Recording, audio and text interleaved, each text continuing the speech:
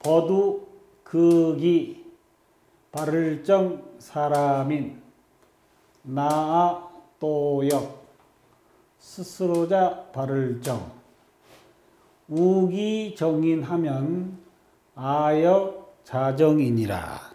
여기 뭐 새로 나온 한자는 없네요. 그 바른 사람을 사귀게 되면 벗을 하면 그 바른 사람을 벗으로 하면 아역 자정이니라. 나 또한 스스로 발라지느니라 이런 뜻이 되겠습니다. 가까울 건 먹묵 사람자 거물흑 가까울 건 불굴주 사람자 아, 불굴적 금묵자 흑하고 근주 자적입니다. 자, 신습 한자 한번 살펴보도록 하겠습니다. 주, 불굴주. 이거는 지사자가 되겠습니다. 지사자. 그래서 이런 나무에다가 가운데 가로획을 이제 넣어서 어, 나무의 단면을 베면 어, 힘이 예, 붉은 것을 이제 의미해서 어, 붉다라는 뜻을 나타낸 글자입니다. 지사자로. 그 다음에 불굴적. 어, 이 자도 이제 회의자가 되겠습니다. 그래서 요 부분이 이제 큰 사람을 나타내는 대자의 이제 변형자가 되겠고 여기에 어, 불화자를 어, 이런 모양으로 좀 나타낸 겁니다. 어, 불빛을 받는 사람의 모양에서 붉다, 빨갛다라는 붉다, 어, 빨갛다. 어, 밑에 불빛을 받아가지고 사람이 그렇게 보이는 모양을 나타낸 글자입니다. 그래서 먹을 가까이 하면 먹을 가까이 하는 사람은 검어지고 주사를 여기서는 이제 어, 주사라고 이제 어, 빨간 돌덩어리가 있습니다. 그래서 주사를 가까이 하는 사람은 붉어지느니라. 그러니까는 좋은 사람을 만나면 좋게 자기가 변하고 어, 그릇되거나 나쁜 사람을 만나게 되면은 이렇게 또 그릇되거나 어, 사람이 예, 불량하게 된다는 의미가 되겠죠. 친구를 잘 사귀어야 된다는 말이 되겠습니다. 자, 쑥봉 날생 산마 가운데 중 안이불 도울부 스스로자 고들지 공생 마중하면 부불 자직이니라. 자, 여기서 이제 쑥봉자를 살펴보면은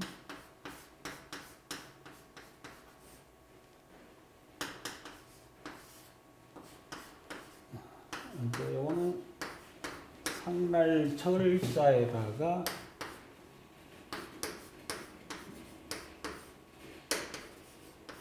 이건 음이 되겠죠.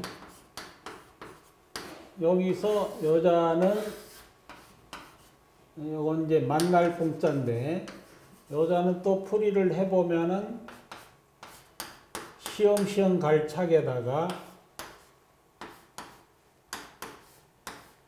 요거는 어, 뒤져 옳지 요거는 예쁠 공자입니다. 그래서 요거는 이제 요거랑 통해 부와 통해 가지고 어, 만나다의 뜻으로 어, 쓰이는 글자입니다. 그래서 이자 전체도 만날 봉자가 되겠습니다. 어, 사람이 이제 뒤에 이렇게 걸어가다가 이렇게 사람을 만나는 걸 갖다가 어, 말하는 겁니다. 그리고 요 봉자는 원래가 풀이 무성하게 자란 모양입니다. 풀이 그래서 풀 무성할 봉 풀이 무성한 모양이 또 예쁘다고 해서 예쁠 봉. 그래서 주로 발음기어로 쓰이는 글자입니다. 발음기어. 어. 다요자 때문에 이런 봉이라는 음이 나온 겁니다. 어, 전체적으로는 이건 쑥. 어, 쑥을 의미하는 글자입니다. 쑥이 제일 무성하게 잘 자라죠. 그 다음에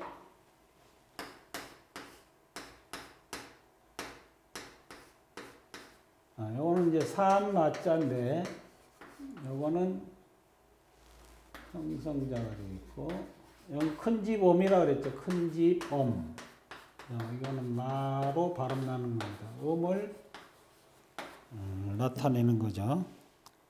자, 요 요자는 어, 어떻게 이제 줄기가 긴 풀. 그래서 옛날에는 이제 겉껍질을 이렇게 벗겨 가지고 옷을 삼는 어, 그래서 삼마 어, 삼을 나타내는 글자입니다. 어, 그 다음에 이제 도울부는 여자는 회의자가 되겠습니다. 회의자. 도울부는 상형자가 되겠죠. 어, 손. 손에다가 아, 자 이거는 남자란 사내남. 사내라는 뜻도 있고 뭐 남편이라는 뜻도 있죠. 어, 일반적으로 쓰일 때는 사내 남자를 갖다가 의미하는 것입니다. 그래서 남자가 이제 이게 손으로 어, 더 도와준다는 의미가 되겠죠. 어, 손을 뻗어서 돕다, 뭐 붙들다라는 뜻도 있습니다. 손으로 붙들다라는 뜻도 있고. 그래서 원 원문을 살펴보면은 공생마중하고 삼바 가운데 어, 쑥이 자라고 이런 뜻입니다. 그러니까는 살마라는 거는 어, 줄기가 긴 꽃장꽃장 이렇게 솟은 이제 어, 풀을 의미한다 그랬죠. 그 가운데 쑥이 자라면 원래 쑥은 요 산마보다도 작은 식물이죠. 그래서 막 꾸불꾸불 자라는데 이 마 자체가 이제 쑥쑥 크게 잘 자라는 거니까는 그 가운데서 자라면 붙들지. 여기서는 도울부보다 붙들. 붙들 붙자. 네, 붙들.